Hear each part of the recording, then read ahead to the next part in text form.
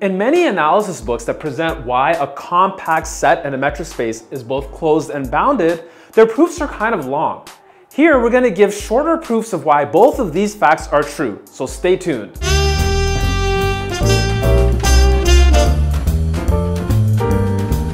Hey, welcome to today's video. I'm Prof. Omar, and today we're gonna talk about why compact sets are both bounded and closed in metric spaces. Now, in many textbooks in analysis, the proofs of these actually inherit the proofs from topological spaces, which are more general than metric spaces. And so their proofs have a little bit more of a lengthy process to them because they don't have as much to work with. And we're gonna exploit the fact that we're in metric spaces to do this. Okay, but remind me what each of these moving pieces are. Like, what's a compact set again, and a bounded, and a closed, and a...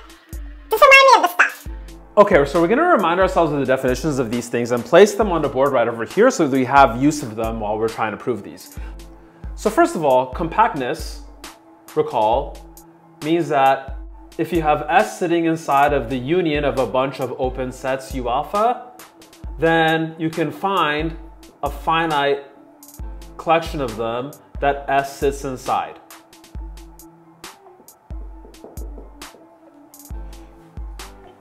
Boundedness,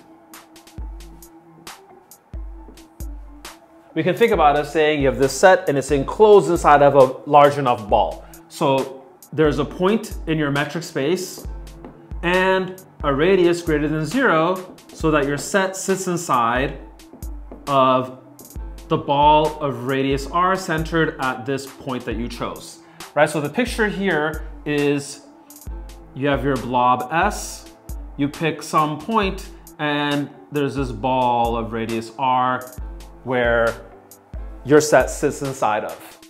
And finally, the definition of closed, which we're gonna think about as actually as the complement of open. So open is the one really that we're gonna functionally use. And a set is open if for any point inside of the set,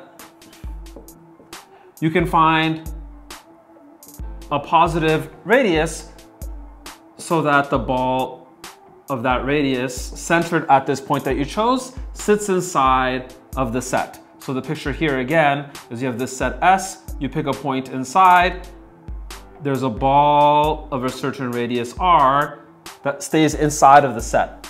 So if we were like whatever here, you can pick a ball like this and stay inside of the set as well. And a closed set is one whose complement is open. Great, so let's actually prove these things in a simpler form than what's presented in most books using these definitions. So we'll start with proving that any compact set is bounded. So I'm gonna draw a picture here of our set S. And somehow we wanna prove that this thing is enclosed inside of a ball. And using the fact that any open cover has to have a finite subcover.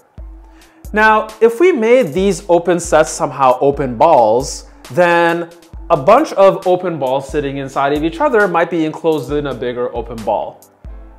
One way we could do this is pick just some arbitrary point. I'll just pick a point right over here. And think about balls of different radii, starting with counting numbers. So maybe a ball of radius 1, and then a ball of radius 2, a ball of radius 3, etc. Okay, if we keep doing this, we'll have an infinite number of balls, and they actually cover the whole metric space because we'll have balls of arbitrary radii. Right, so we'll have something like this, S sitting inside of the union n equals 1 to infinity of the ball of radius n centered at P. Because this union of open balls actually is the entire metric space X. So this union actually is an open cover of our set. Because our set is compact, there's a finite subcover. So there's a finite number of these balls that cover S. We can write that as saying S is inside of the union of Bn1 of P up to B sub n capital N of P, where these are the finite balls that form our finite subcover. Now these are all balls of radius n1, n2, up to n sub capital N respectively, centered around this point P. right? So if we ordered them by radii, whatever the largest is, let me call it r, being the maximum of all these radii, the ball of radius r centered at P will have S sitting inside of it because the, that ball will be one of these balls actually, and it'll contain all the other balls because they have the same center and smaller radii. So S sits inside of this one particular ball right here, centered at P, meaning by the definition of boundedness, that this set S actually is bounded. So a really nice proof. The usual proof inherited from topology considers balls all over the place, right? When we can pick balls centered at one point because we can actually quantify radii because we're actually in a metric space. Great, so now let's move on to proving that a compact set has to be closed, again taking advantage of the fact that we're actually in a metric space. All right, so now we want to prove that a compact set in a metric space is actually closed. And again, we'll use our heuristic of having this set S sitting inside of here.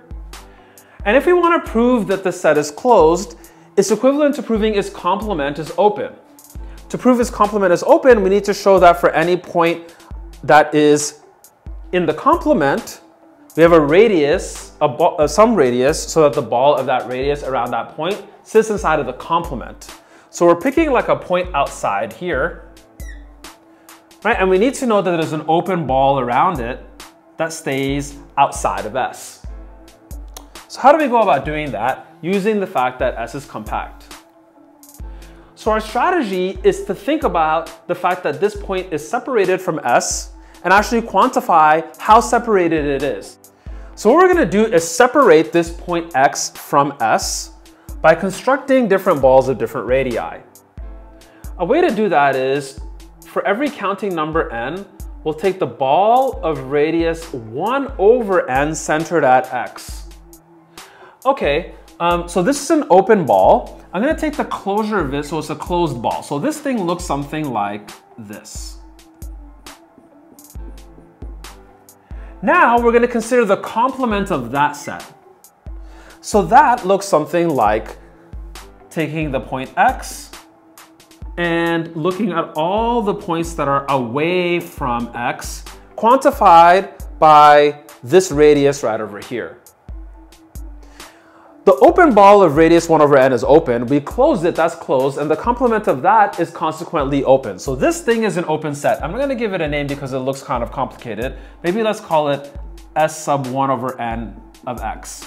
And we think about s sub 1 over n of x as being this open set that contains all the points that are radius greater than 1 over n from the point x.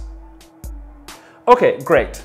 So if we increase n, so we take the n equals 1 to infinity, and take the union of all of these things, what would we get? Well, these are the points that are at least 1 over n away from x for some n. That's every single point in the metric space besides x. If I pick a point like right over here, let's say p, then I can always pick some very, very, very, very small ball here by picking n to be large enough, and p will be inside of Sn for that consequent small ball. Okay, so this set here is actually the entire metric space with x removed. Okay, but x itself does not lie inside of our set S, so S is a subset of this set here. So S actually sits as the inside of the union of this infinite number of open sets. But S is compact, so that means S sits inside of the union of a finite number of these. Let's call them S1 and 1 of X, up to S1 over n, capital N of X. So again, one of these radii is gonna be smallest. So the picture we have here is we have our point X, our set S, and then let's just assume that these are ordered so that this is the smallest of the reciprocals and this is the largest. So we have this 1 over n1 here and everything outside of it. Then we have 1 over n2 and everything outside of it, but that's subsumed by the first ball. So this actually all sits inside of s and 1 of x. We're saying there's a separation from x that looks something like this, and s sits inside of everything outside of it. Okay, great. So what that means then is there is an open ball around x that sits outside of S.